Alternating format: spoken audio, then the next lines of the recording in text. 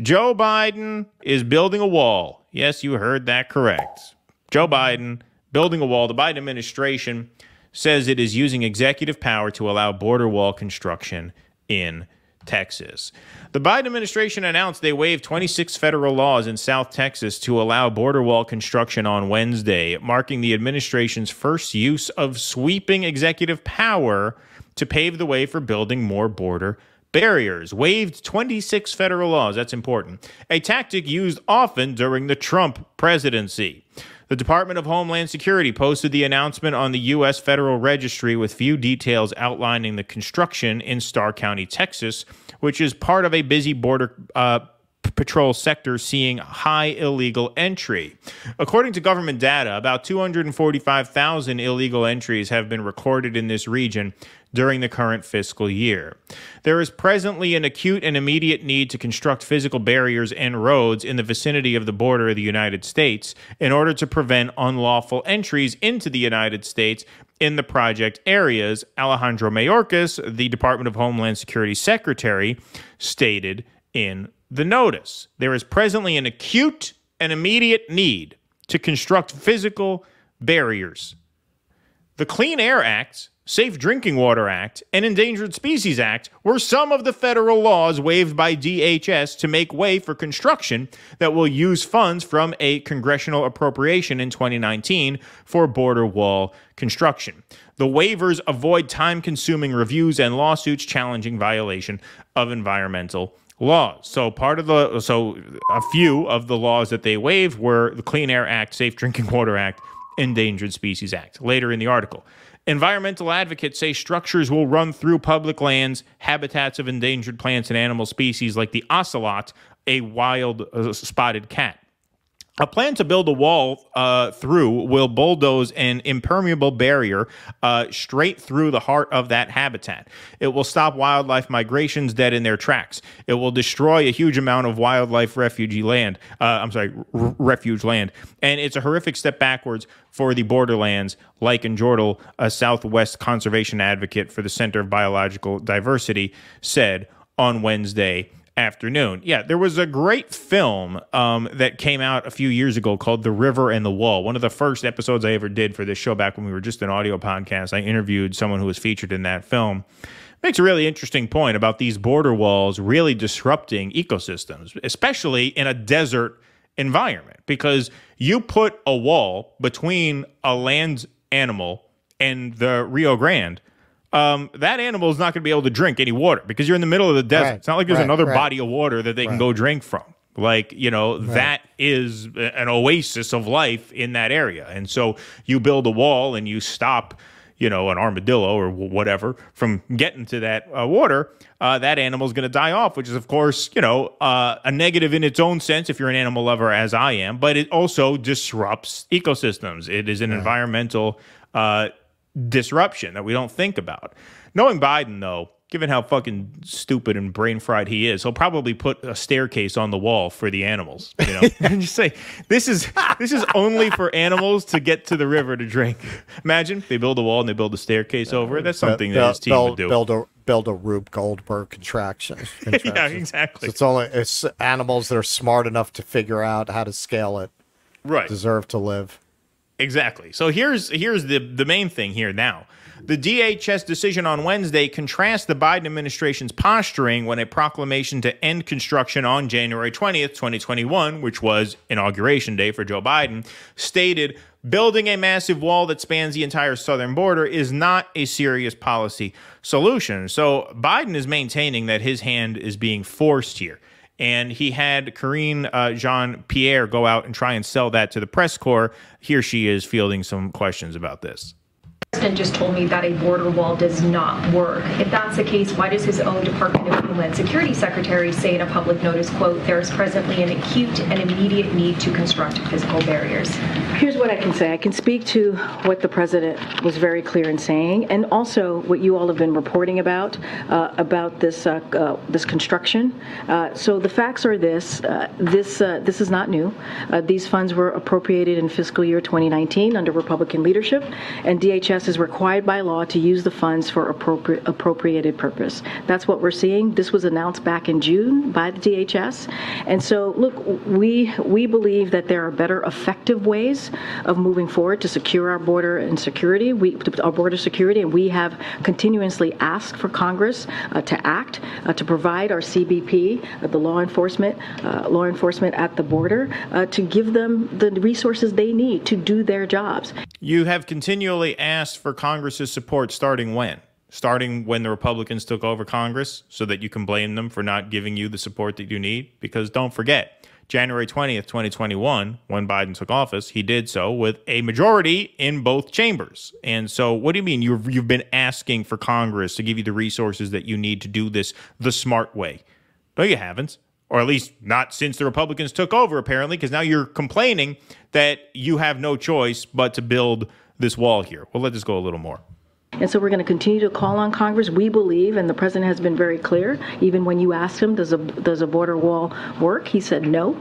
Uh, and he's been very consistent about that. We believe that we need border technology that is modernized and land ports of, uh, at, uh, at, of land ports of entry. And that's what we want to see. And that's what I can speak to.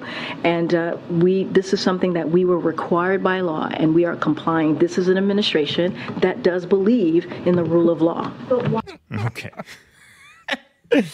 Uh, okay, I, I haven't I I haven't. They believe in the rule of law, which is why they're waiving 26 environmental laws to do this.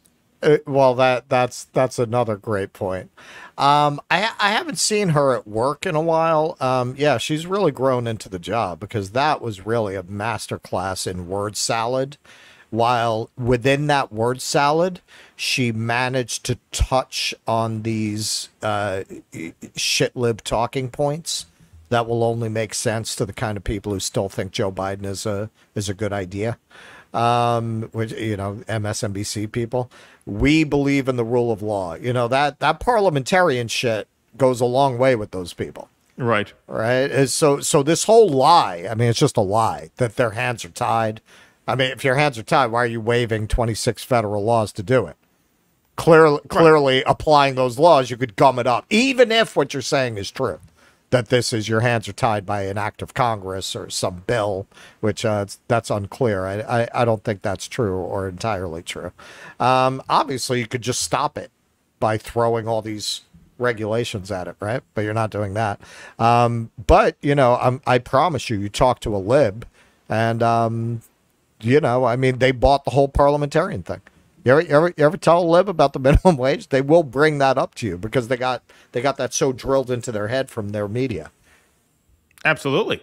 Absolutely. Well, here's how you know that uh, they're not being truthful about this because had they been even remotely honest about this, uh, they wouldn't be getting pushback uh, from fellow Democrats, especially not pushback from Beto O'Rourke, who challenged them on this. I mean, when even Beto is giving you a hard time, you know that you have a paper thin argument here.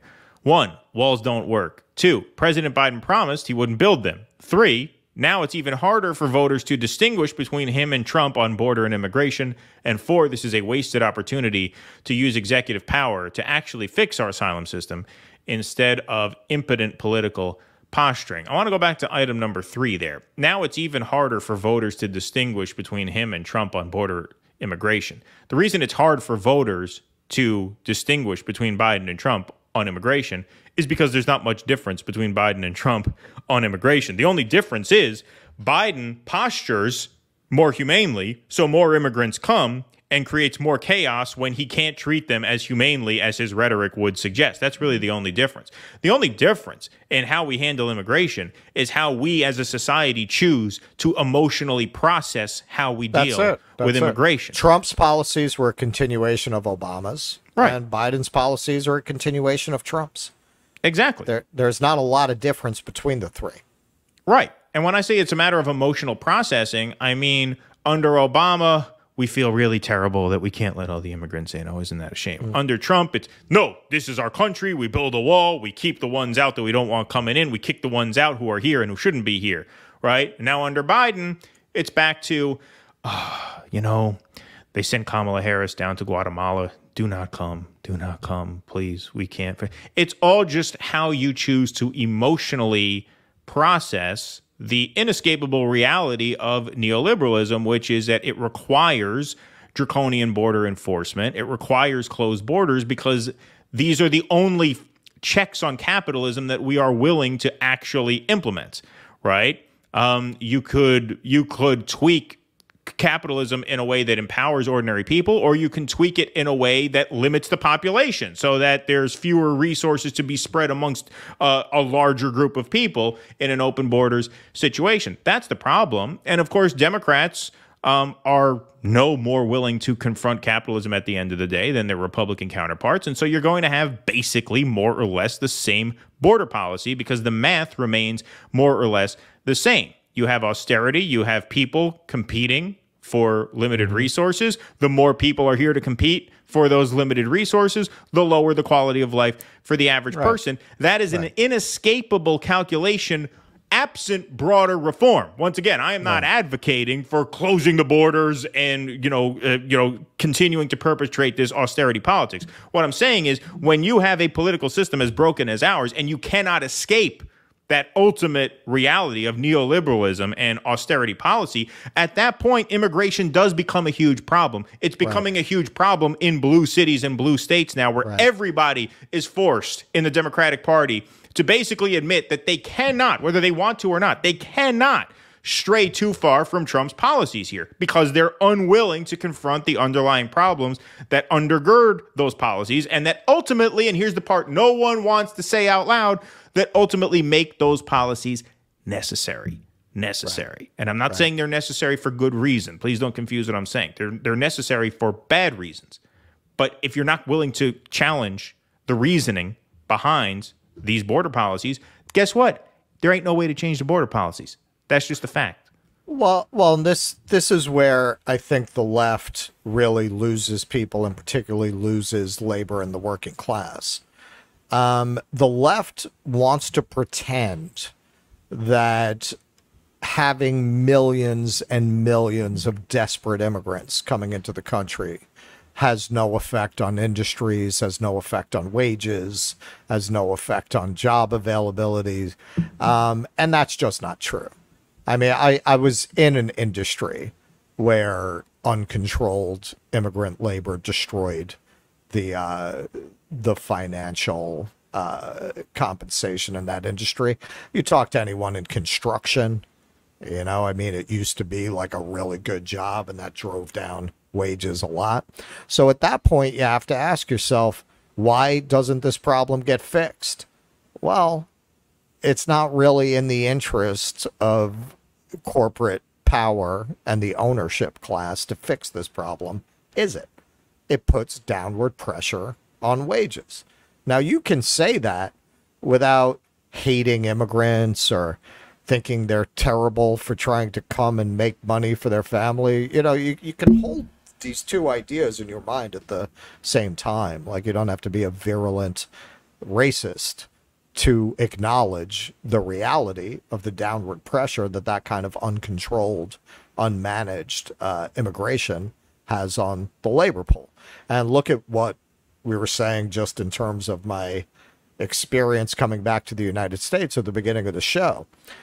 Because the United States is run like the Hunger Games, when you, you you don't even have the infrastructure set up to take care of the people who are already here.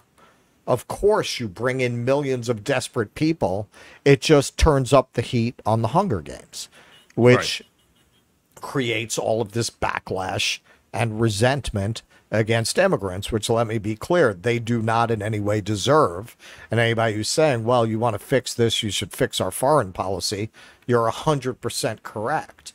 But in the end, that doesn't really make a difference to the low wage worker. And that low wage worker is not necessarily white. If you look at who the sector in society is based on polling, um, I've shown this article before. It was a more general article about people's political attitudes. The group in America that is most antagonistic to illegal immigration are black men. Right Well, that's not very surprising, is it? Because whose jobs are most threatened, right? Right. Um, So you know they try to present this as a white supremacist issue, as a as a racial issue. It's an economic issue, and I don't think I think particularly as leftists we should recognize that the same overlords that we're always willing to attack on every other subject, um, they're not against allowing millions of undocumented immigrants into the country. They're very much for it because, uh, as I'm sure you have noticed, what those people want, they tend to get. If they didn't want this, this problem would have been fixed a long time ago. Please clap.